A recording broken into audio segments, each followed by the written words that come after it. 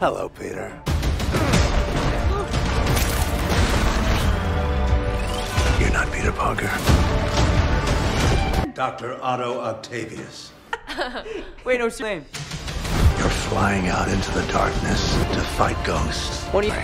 Fighting Spider-Man. They're a danger to our universe.